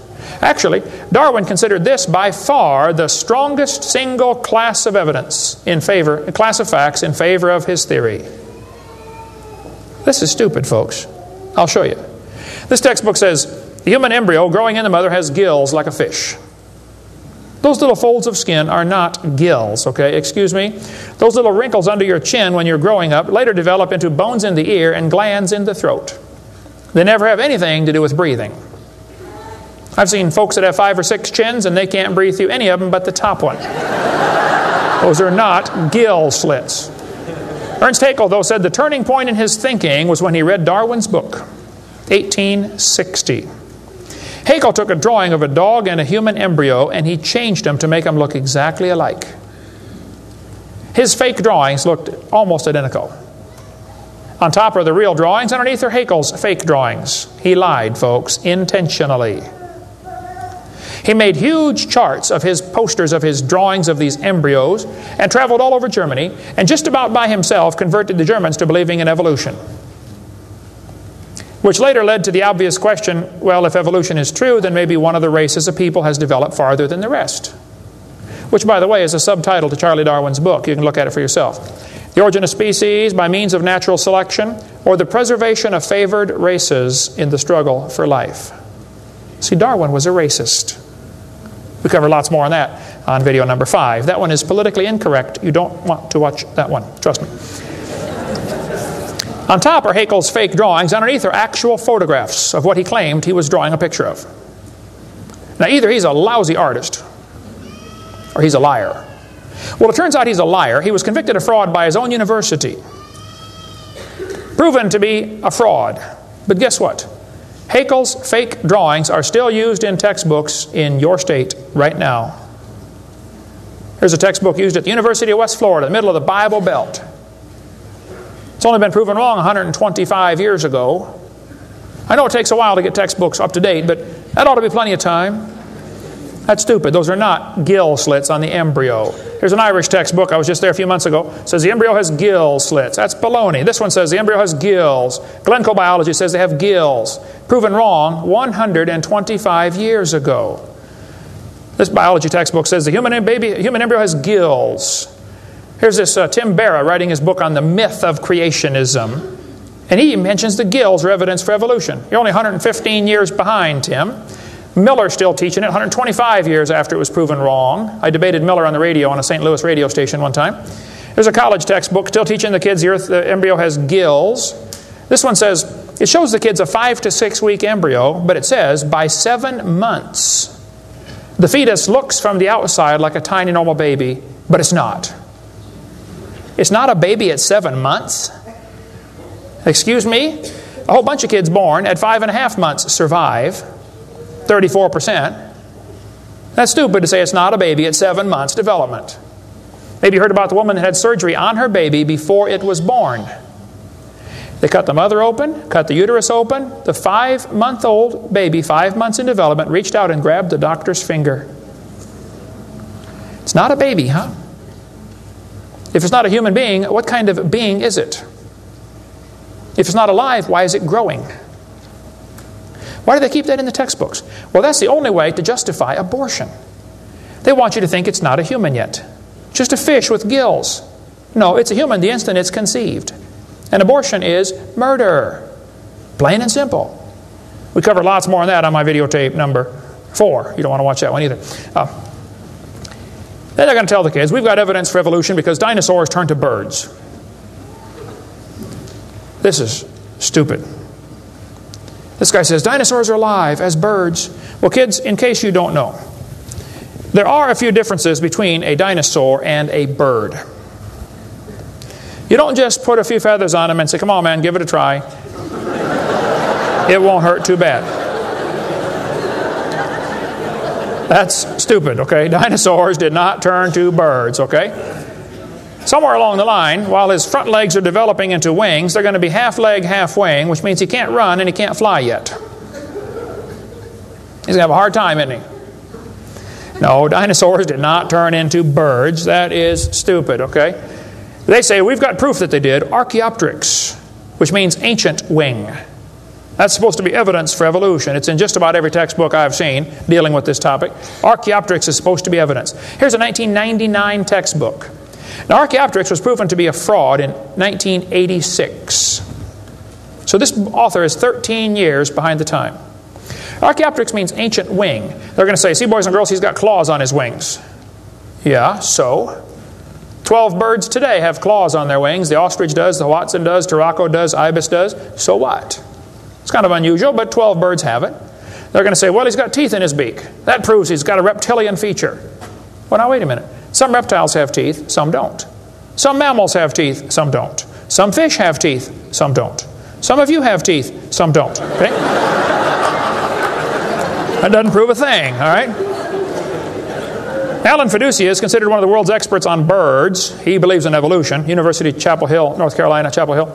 He said paleontologists have tried to turn Archaeopteryx into an earthbound feathered dinosaur, but it's not. It's a bird, a perching bird, and no amount of paleo babble is going to change that.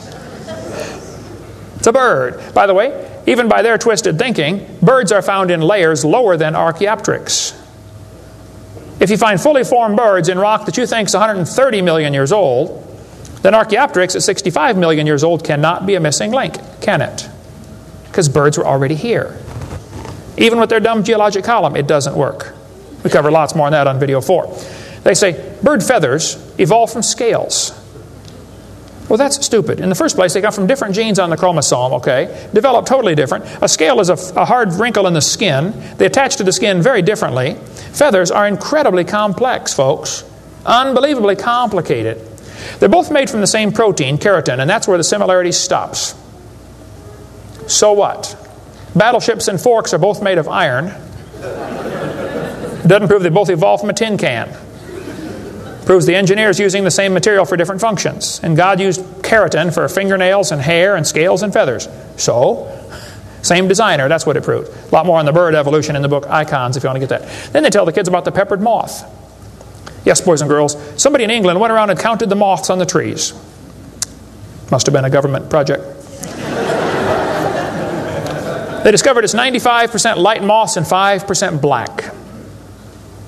Well, so the story goes, they burned coal in the factories, the trees turned black, and the uh, moths changed to black moths. Because when they counted them again, they said they found 95% black and 5% light.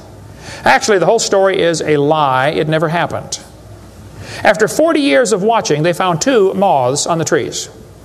Two total out of 40 years. So they glued dead moths to the tree to take a picture for your kid's textbook. Then he wanted to get a picture of a bird eating a moth. So he put some moths in the refrigerator to calm them down so they got real nearly frozen. Then he put them on the tree and they, could, couldn't even hang onto the tree. So he warmed them up on the hood of his car. Put them out there on the tree and the moth is staggering around trying to warm up, you know, and a bird ate one. He got a picture. Wow, proof of evolution. it's a lie. Didn't happen. Even if it were true, dark moths and light moths were there at the beginning, and dark moths and light moths were there at the end. The ratio of population might have shifted, but the story wasn't true. So, doesn't prove anything. That's stupid. That's not evidence for evolution. They tell the kids, we've got vestigial structures. Now, a vestigial structure is something you don't need anymore. They'll say, boys and girls, you have an appendix that you don't need anymore. That's a vestigial structure, that's proof of evolution. Well, excuse me, you do need your appendix, okay? That is stupid. The appendix is part of your immune system. If your appendix is taken out, you can still live, okay? But it increases your susceptibility to quite a few diseases. You could live without both your legs and both your arms and both your eyes also. That doesn't prove you don't need them. Does it? there are no vestigial organs. And even if there were, that would be the opposite of evolution. That's losing, not gaining. This textbook says, boys and girls, whales and many organisms here, like a whale, retain traces of their evolutionary history. For example, the whale retains pelvic and leg bones as useless vestiges. Uh, I'm sorry, that's not true. This one says, just imagine whales walking around. It's true. These little bones right there is what they're talking about. Just imagine him walking around. I can see it now, can't you? All you need is a good imagination and some LSD, and you'll be able to see that whale walking in real life. this textbook says the whale's pelvis is evidence of its evolution from four legged land dwelling mammals. Well, that is stupid, okay? Those bones in the whale's abdomen are essential to hold muscles that support the reproductive system. Without those bones and those special muscles, the whales cannot reproduce. This has nothing to do with walking on land, it has to do with getting more baby whales. So the author that wrote this is either ignorant of his whale anatomy and should not be writing a book about it, or he's a liar trying to push a theory off on our kids. Here, this one says Whales once lived on land. Whales were not always sea dwellers. Modern whales show skeletal evidence of previous existence on dry land. Buried deep in a whale's hip muscles are two small bones, all that is left of the whale's pelvis and hind legs. That's stupid. The male and female bones are very different on whales. Check your whale anatomy and tear that page out of your book. Has no business being in there. This textbook says humans have a tailbone at the end of the spine that is of no apparent use. I was debating a guy in North Alabama. He was the president of the North Alabama Atheist Association or something like that. He got up and he said, Folks, we've got evidence for evolution. Humans have a tailbone they no longer need. When it was my turn, I got up and I said, Mr. Patterson, I taught biology and anatomy. I happen to know there are nine little muscles that attach to the tailbone, without which you cannot perform some very valuable functions. I will not tell you what they all are, but go read your Gray's Anatomy and you can figure it out. I said, however, Mr. Patterson, if you think the tailbone is vestigial, I, Kent Hovind, will pay right now to have yours removed. Bend over.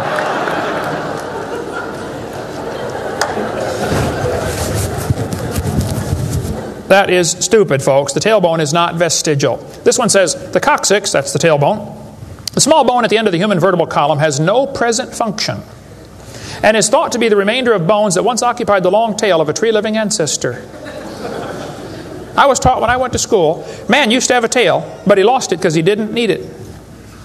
I thought, didn't need it? Have you ever thought how handy a tail would be? Have you ever come to the door with two sacks of groceries? Wouldn't that be nice, man? Be able to grab that door and walk right around and get in? Lost it because we didn't need it. Man, you could drive the car and tune the radio knob and hold a Coke at the same time. They're going to tell the kids that lobe finned fish show evolution. Yes, boys and girls, during the Devonian period, 410 million years ago, there were fish with lobe fins. What that means is a short arm and then the fin grows. Well, that's stupid, okay? The lobe finned fish are still alive. They're called the coelacanth. And when they found the first coelacanth in 1938, first folks, people didn't believe it. They said it can't be true because they died millions of years ago. When they finally proved, yes, they're still here, all they said was, wow, they survived for millions of years. Never dawned on them to maybe question the whole theory. Never dawned on them. When Dr. Roy Mackal went to Africa and did ex- expeditions on dinosaurs still alive in the African swamp, University of Chicago microbiology professor Dr. Roy Mackal wrote this book. He went over there twice, interviewed folks who've seen living dinosaurs, people who've never seen a white man. When he, when he showed them the Apatosaurus, they said, Yeah, that's Mokele Mbembe. He lives out in the river. He's not friendly. Don't get close. Dr. Mackal said, Fellows, that's a dinosaur. They've been dead for 70 million years. The natives said, Well, we're sorry. We didn't know about that. All we know is we see them out there once in a while. So Mackal gets back, writes this book, and says, Folks, there are still some dinosaurs alive in Africa. Then he says, It's amazing. They survived for 70 million years never will cross his brain that maybe your basic theory is wrong. That thought will never enter his mind, I don't think. It ought to. Lobe fin fish are still alive, folks. They tell them trilobites are good index fossils for rock that is 600 million years old. Well, that's stupid, okay? There's man and um, a human shoe print where a guy stepped on and squashed a trilobite. How could a human step on a trilobite? Uh, if they 500 million years ago. One guy said, maybe aliens visited the planet and stepped on a trilobite. trilobite had the most sophisticated eye ever found in nature. It's one of the first animals to evolve, and it's already got the most complex eyeball. I don't think so. These index, the whole thing about index fossils is stupid. Okay, there aren't any index fossils. The graptolites are the index fossil for 410 million year old rock, and yet they're still alive right now in the South Pacific. They tell the kids that dinosaurs are index fossils for 70 million year old rock. Folks, dinosaur blood was found inside the bone. Don't you think it's going to decay in less than 70 million years? There's enormous evidence that man and dinosaurs have always lived together. We cover that for two and a half hours on video number three of our blue series of tapes. Gene Thomas, missionary friend of mine, was in the Congo swamp for 42 years as a missionary. He said, I had two pygmies in my church that killed and ate one. Yes, dinosaurs are still alive. California, 1925, this thing washed up on the beach called California's Nessie. Laid there on the beach and rotted away. Here's a guy behind it with a rifle. In the front, you can see the critter's head, neck going off to the right. The neck was 20 feet long. One atheist wrote me a letter and said, Hovind, you're so stupid. Don't you know that was a whale? Show me any neck on a whale, would you please? no, I think dinosaurs have always lived with man. They were called dragons for most of history. People killed most of them. There could be a few still around. It wouldn't affect me at all, okay? I don't think there's a lot of them, but there could be a few still out there. They changed the name in 1841 to dinosaur. That's all that happened. And man exterminated most of them. They're mentioned in the Bible. We cover all that video number three. They're going to tell the kids, we've got evidence for evolution. It works by natural selection. Well, yeah, natural selection works, but see, evolution is based on two faulty assumptions. Number one, they say mutations make something new, that's never been observed, and natural selection makes it survive. That's never been observed. That sounds good theoretically, but it's never been observed.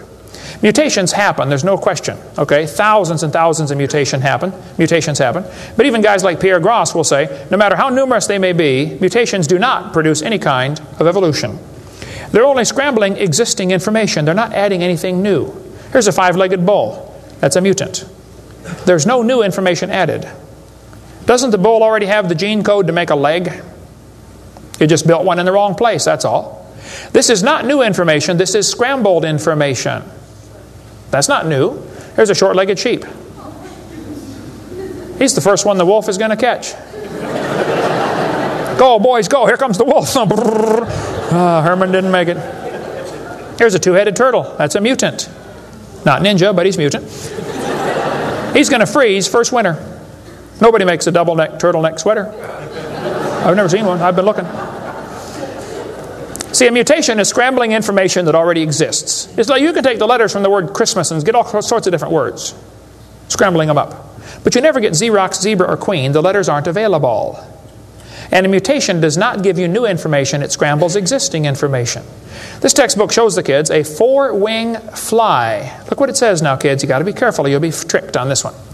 Normal fruit flies have two wings. This mutant has four. This rare mutation, like most mutations, is harmful. Look what it says. Beneficial mutations are the raw material for natural selection. Oh, why didn't they show us one? Why did they show us an example of a bad mutation and tell us that good ones is how it works? Show me a good one. You know why nobody's ever shown a good mutation? Because nobody's ever seen a good mutation. One professor I was debating said, I know a good mutation. He said, People in Africa that get sickle cell anemia cannot get malaria. Wow, that's like saying if you cut off your legs, you can't get athlete's foot. yeah, you're, you're probably right, but that's not a beneficial mutation. they tell them natural, evolution and natural selection go together. He says, this textbook says natural selection causes evolution. That's stupid, okay? Natural selection doesn't cause any evolution. Natural selection is a conservative process that keeps the species strong. That's all it does. That's all it can do. It has no creative properties. Natural selection, nature can only select what there is to select from. If I said, I'm going to go around the world, I'm going to try to raise a race of people that are over 12 feet tall. So everybody under 12 feet tall, we're going to kill them. Year after year, we kill everybody under 12 feet tall. Well, there's nobody to select from, is there? Natural selection can only select what there is to select from. It's a conservative process. If you worked in a factory that produced cars and your job was to check for defects, you know, kick the tires, slam the doors, etc., drive it around, and you caught every single mistake and you rejected it, how long would it take that process to change the car to an airplane? You say it'll never change it. That's my point. Natural selection is like a quality control. It makes sure the bad ones don't survive, but it's not going to change it to something else. Survival of the fittest does not explain arrival of the fittest. And by the way, survival of the fittest is what, call, is what is called a tautology. Kids, there's a big word. You can learn this. You can use this one on your brother. A tautology is a sentence that means nothing. You can say, oh, you're speaking in tautologies. I'll show you how it works. You say, Professor, why did it survive? I say, oh, because it's the fittest. You know, survival of the fittest. Oh, uh, how do you know it's the fittest? Because it survived. I see. Is that the way it works? That's exactly the way it works. That's stupid, folks, okay? Actually, it's not survival of the fittest. If a whale goes through a school of fish and eats 80% of them, it's survival of the luckiest. I mean, if a snake crawls into a bird's nest and eats three out of four eggs, does the snake select the weakest of the birds to eat? There's still an egg, man. He's going to eat them all. okay? Then they do the thing with the fruit flies for the kids. They'll say, boys and girls, they, we raised flies in the laboratory and we nuked them and microwaved them and x-rayed them and we got these flies to have mutated babies. We got flies with curled wings. They fly around, bzz, bzz, bzz, couldn't go anywhere. They got flies with no wings. What do you call that? A crawl, can't fly. They raised all these mutated flies in the laboratory and said, you know what, folks, every fly we got was worse off than Grandpa Fly. Yeah, so? So they tell the kids, you see, this proves that flies have evolved as far as they can go. no, this proves you're messing up with perfectly good flies, okay? God made them right and you're messing them up. Now leave them alone, all right? This guy says we've, we've got proof for evolution because flies in the north have wings 4% larger than flies in the south.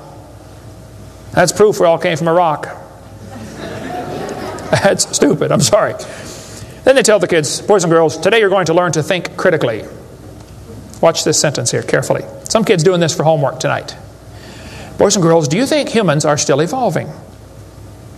Now, what kind of question is that? That's one of those questions like, uh, have you stopped beating your wife yet? Well, if I say yes, I'm admitting I did. If I say no, I'm still doing it. Wow. All right? Go back and look at the original question. Do you think humans are still evolving? Doesn't that question assume that evolution has happened? What if a kid doesn't believe in evolution? How's he supposed to do his homework tonight? That question does not teach them how to think critically. That teaches them what to think, not how to think. That's a Soviet style indoctrination type question, and the textbooks are full of them. They're not learning how to think. And when the kid gets done with this course, he's going to think he knows how to think. But he doesn't. He knows how to be told what to think. Brainwashing at taxpayer expense. Quite a few lies in the textbooks covered in this one. We got a lot more in video number four. Adolf Hitler said, You let me control the textbooks, I'll control the state. What is in these books anyway? There's a lot of good science in there, but there's some poison.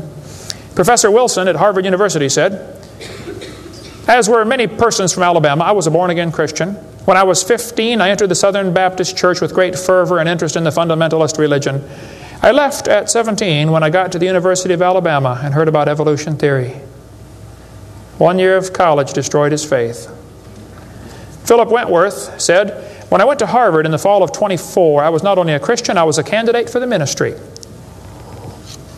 Then, for four years, I underwent a process of mental readjustment which shook my little world to its foundations.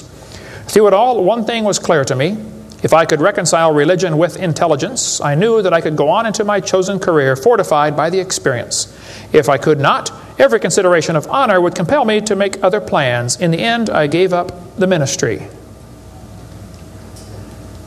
Scott wrote me a letter to Dr. Hovind. Until I went to college, my faith in God was sound. My college history class helped destroy that faith. I started to doubt, Bible, start, doubt the Bible and God's Word. I even started to doubt Jesus was truly God's Son and that He died and rose for my sins. My best friend showed me your tapes, and I was in awe of what I saw. Everything I thought I knew about life was changed. Praise God. People sit home and watch a video that you will never get to come to church, especially men. If they're sitting at home holding the remote, there's this feeling of power surges through their body. How many know what I'm talking about? Now, come on, be honest, okay? Right? That's why we purposely leave my videotapes uncopyrighted. Copy them and give them to your friends, man. Get them saved. All right? 75% of the kids from Christian homes that go to public schools are going to lose their faith after one year of college. 75%. Pierre, uh, Professor Bonar said, evolution is a fairy tale for grown ups. The theory has helped nothing in the progress of science. It is useless. Malcolm Muggeridge said, I am convinced the theory of evolution, especially the extent to which it's been taught, applied, will be one of the great jokes in the history books of the future. It's a joke. And it would be a joke if it weren't for the tragic results. How many kids are taught this thing every day and believe it, and it destroys their faith? Adolf Hitler was a strong believer in evolution. He thought the Jews were an inferior species and needed to be eliminated for the good of humanity. Joseph Stalin was an evolutionist. Trotsky was an evolutionist. Pol Pot from Cambodia was a strong believer in evolution. We covered lots more on that in video number five. Scientists who go about teaching that evolution is a fact of life are great con men. The story they are telling may be the greatest hoax ever. In explaining evolution, we do not have one iota of fact. Evolution is a shell game. You ever seen those shell games where they put the pea down there and they put the three shells on it the guy tries to get you confused, you know, he misses them around? Evolution is like a shell game. If you ask the biologist, where's the best evidence for evolution? He'll say, oh, it's in geology. I debated Dr. Pigliucci. It's debate number 12, I think, of my series out there, of the red series of tapes. Those are debates. I said, Dr. Pigliucci, you have gotten $650,000 in grant money to study evolution of plants. You've been teaching a course on the evolution of plants for 30 years. What is the best evidence of evolution you're aware of? And he said, The evolution of whales. you're, a, you're a botanist telling me the evolution of whales is your best evidence?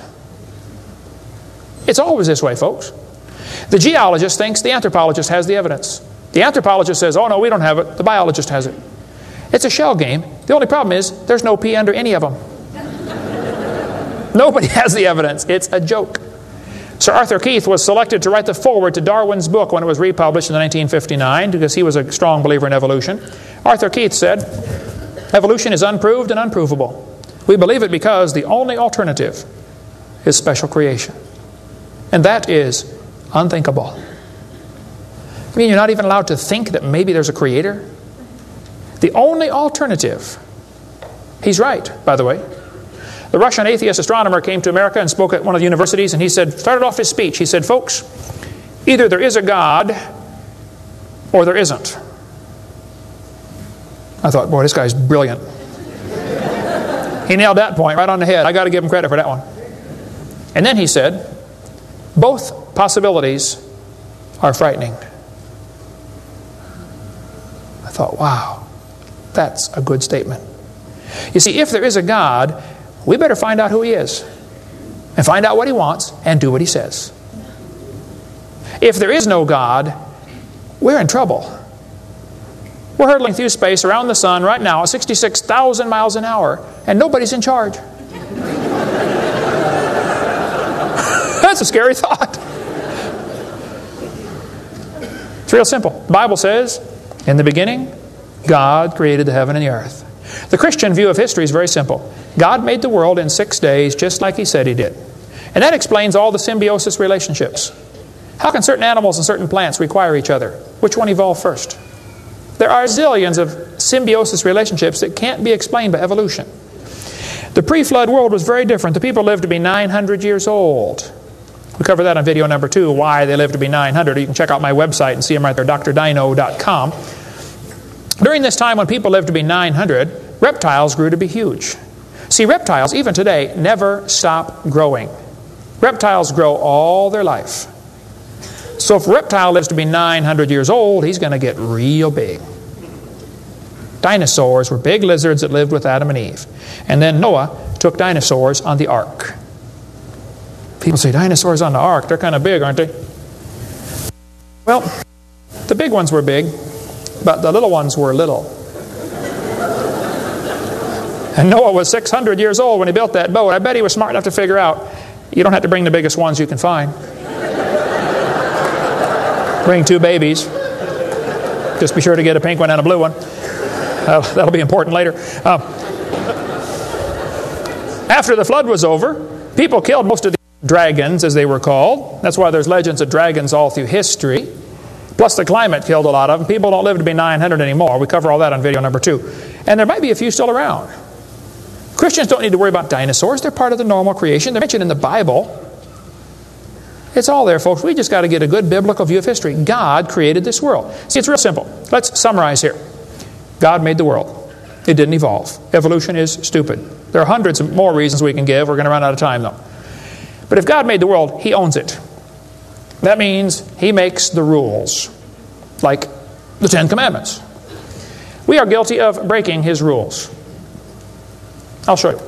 Rule number nine, commandment number nine, thou shalt not bear false witness. That means don't lie. How many of you have ever lied before?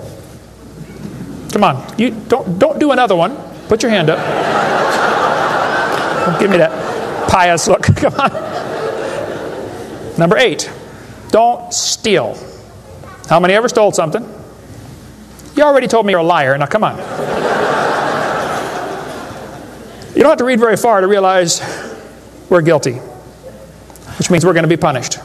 Or find a substitute. See, I can't substitute for your sins because I got a whole bunch of my own. But Jesus Christ is not only willing, He's able. He wants to take your place. He wants to pay for your sins. It's real simple. February 9th, 1969, my friend said, Kent, you're a sinner.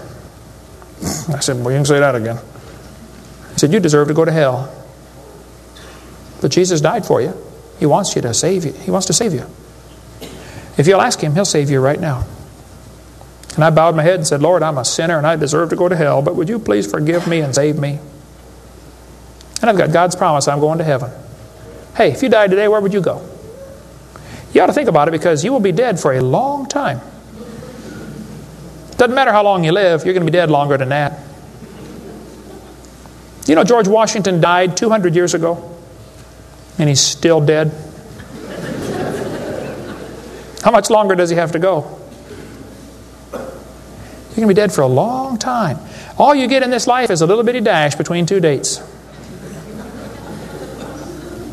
Just a little, and it's gone.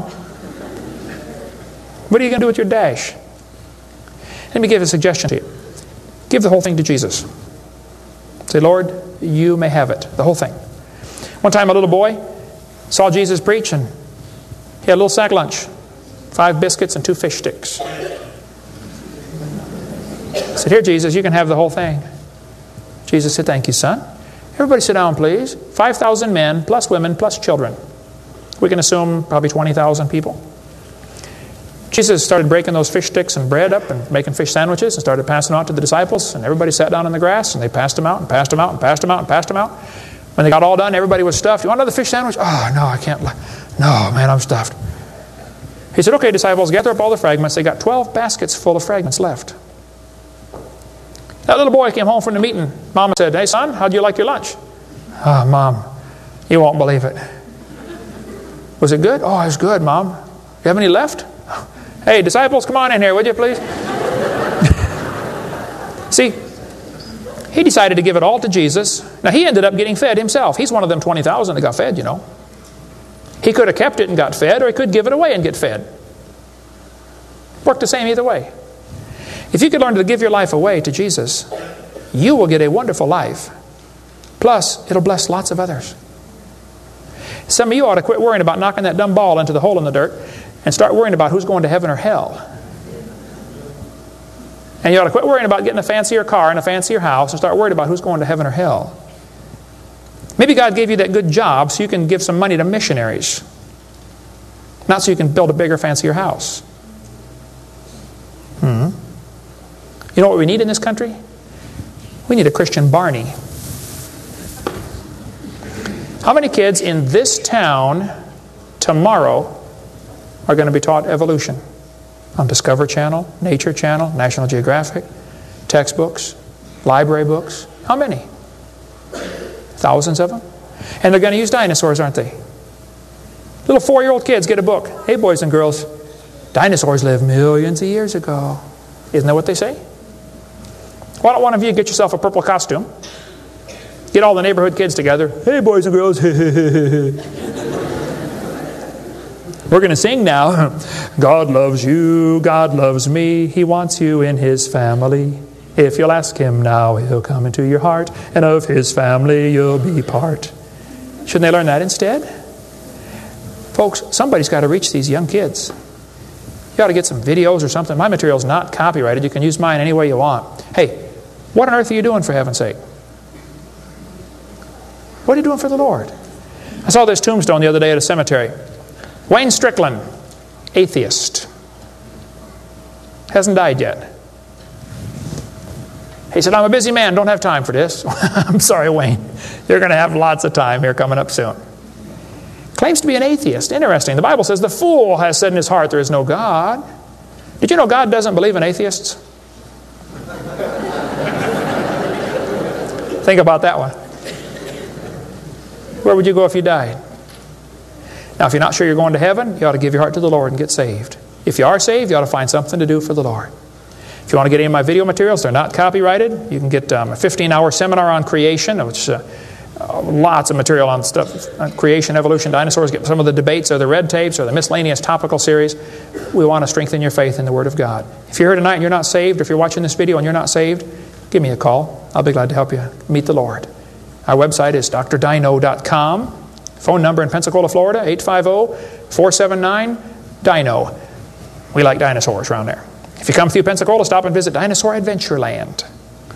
If you get a chance to go on the cruise, we'd love to have you come on the cruise and we'll talk more about dinosaurs and creation and evolution. Thank you so much for joining us tonight.